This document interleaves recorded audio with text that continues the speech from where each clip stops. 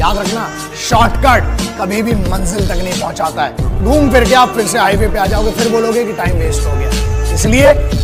one single M